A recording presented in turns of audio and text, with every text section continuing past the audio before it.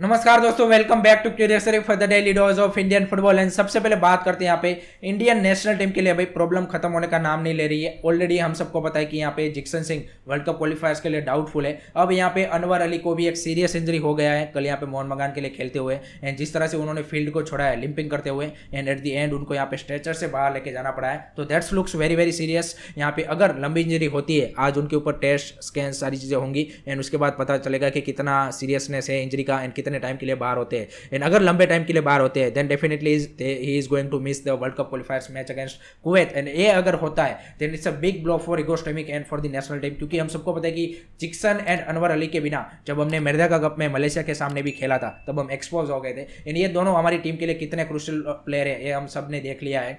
And particularly Jeakson का तो चलो भी आपको पास ऑप्शन है कि भाई अपुया भी अच्छे फॉर्म में लेकिन अगर आप अनवर अली का ऑप्शन देखें तो आपके पास साना मेहता बेन चुंगनूना ये तीनों में से कोई एक यहाँ पे अभी स्कीम ऑफ़ थिंग्स में दिख रहे हैं तो इन तीनों में से कोई भी खेल ले आई डोंट सी कि आप अनवर का रिप्लेसमेंट उस सेंस में कर पाओगे, क्योंकि जो लीडरशिप क्वालिटी आपकी बैकलाइन में, जिस तरह की कामनेस जिस तरह की, ना कि सिर्फ़ डिफेंसिव क्या बोलते हैं एट्रीब्यूट्स आप उनका ऑफेंसिव भी आप रोल देखें तो जिस तरह से सेट पीसिस में वो डेंजरस है, जो थ्रेट प्रेजेस करता है, जिस तरह से उसकी हेडिंग क्वालिटी है आई डोंट थिंक सो कि बाकी हमारे किसी भी डिफेंडर के पास उस लेवल की है एंड संदेश जिंगान भी आउट ऑफ़ फॉर्म दिख रहे हैं तो वो भी एक बड़ा कंसर्न है तो ईगो स्टेमिक से आपके लिए, अगर यहाँ पे अनवर अली एंड जिक्सन अवेलेबल नहीं होते वर्ल्ड कप क्वालिफायर्स में देन कुवैत के सामने काफ़ी ज़्यादा प्रॉब्लम बढ़ने वाली है। लेट्स होप सो ज़्यादा सीरियस ना हो, एक दो दिन में हमें पता चल जाएगा कि कितने टाइम के लिए वो बाहर है। उसके बाद बात करते हैं भाई, यहाँ पे कल हुए एफ़ कप के दो धमाकेदार मुकाबले के बारे में। यहाँ पे फाइनली भाई, मोहन बगान का जो विनिंग स्ट्रीक है, उनको यहाँ पे बांग्लादेश के क्लब वसुंधरा किंग्स ने रोक लिया with the two two score line and जिस तरह की मैच थी, काफ़ी एक क्लोज फाइट हमें देखने को मिला। एंड वसुंधरा किंग्स ने भाई, ज़बरदस्त परफॉर्मेंस दिया है मेरे हिसाब से,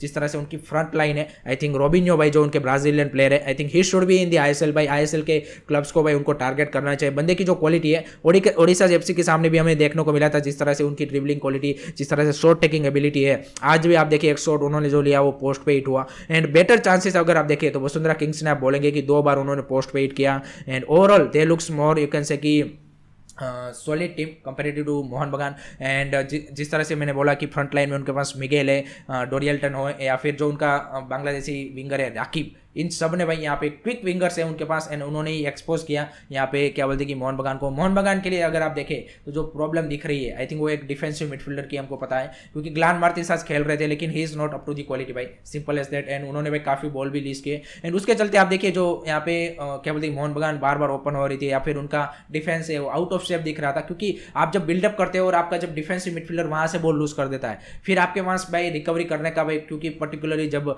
सामने वाली टीम के पास इतने क्वालिटी विंगर्स हो फिर आपके पास चांसेस कम होता है कि आप वहाँ से रिकवर कर पाओ या फिर आप उसको रोक पाओ इंटरसेप्ट कर पाओ कुछ भी कर पाओ। एंड दैट्स क्लियरली विजिबल तो अगर यहाँ पे मोहन बगान को एफ़ कप के नेक्स्ट राउंड में जाती है यहाँ पे फिर उनको चाहिए भाई एक सॉलिड डिफेंसिव मिडफील्डर जॉनी को को या फिर यहाँ पे जनवरी में किसी और को साइन करना पड़ेगा। तभी आप एक्सपेक्ट कर सकते हैं कि यहाँ पे एफ़ कप में वो कर, कुछ कर पाएँगे। Otherwise I think Glan Martins हो या फिर थापा भी खेल लेगा लेकिन आपको एक सॉलिड डिफेंसिव मिडफील्डर चाहिए ही चाहिए। आपके पास देखिए फ्रंट लाइन में अच्छे प्लेयर है यहाँ पे डिफेंस में अच्छे प्लेयर है लेकिन यू नीड दैट सॉलिड यहाँ पे आपकी मिडफील्ड में स्टेबिलिटी और यहाँ पे क्या बोलते हैं कि आपकी अटैक एंड डिफेंस को लिंकअप करने के लिए जो प्लेयर चाहिए। आई थिंक वो एक आपको डिफेंसिव मिडफील्डर साइन करना पड़ेगा, या फिर जॉनी कोको तब तक फिट हो जाते हैं then he should be bring back I don't think so कि ग्लान मार्टिन से वो हो पाएगा. एंड फरवरी से आपका क्या बोलते हैं कि नॉकआउट स्टेज स्टार्ट होगा तो आपके पास जनवरी ट्रांसफ़र विंडो भी है तो उसमें भी साइनिंग हो सकता है. तो आई थिंक जॉन फर्नांडो को आई थिंक अभी आइडिया या फिर एक ये मतलब क्या बोलती लेसन मिल गया होगा कि आपको एक टूर्नामेंट में आगे बढ़ना है. Then a player like proper defensive midfielder is needed simple as that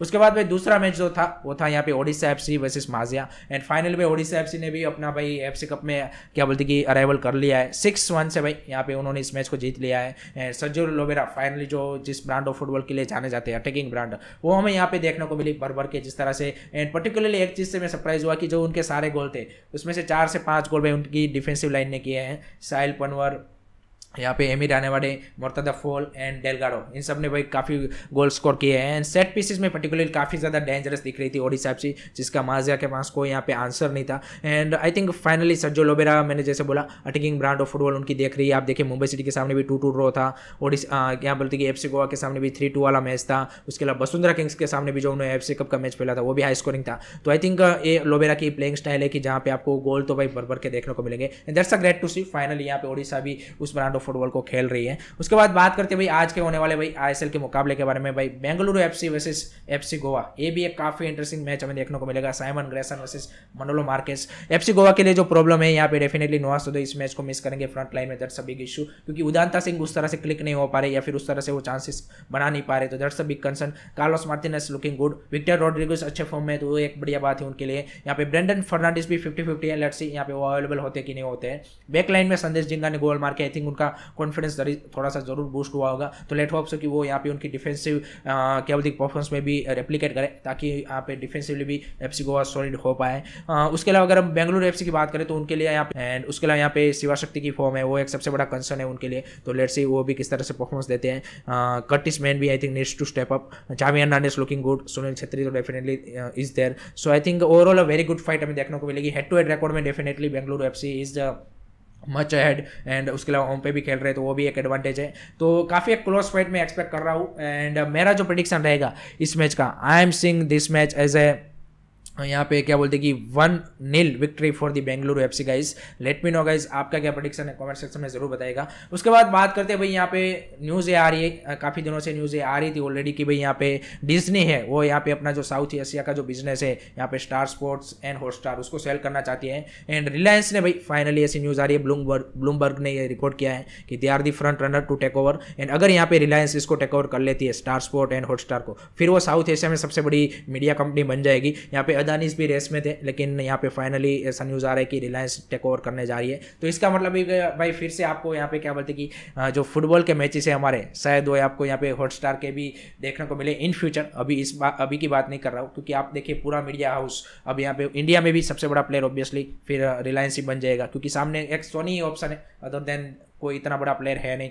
तो I think most of the matches या फिर वो सारी चीज़ें आपको फ्यूचर में हॉटस्टार जियो सिनेमा इस सब में देखने को मिल सकते हैं। So that's it from my side guys regarding today's Indian football news I hope कि आपको वीडियो पसंद आया हो। Keep supporting Indian football don't forget to like share subscribe करो सरी जय हिंद जय भारत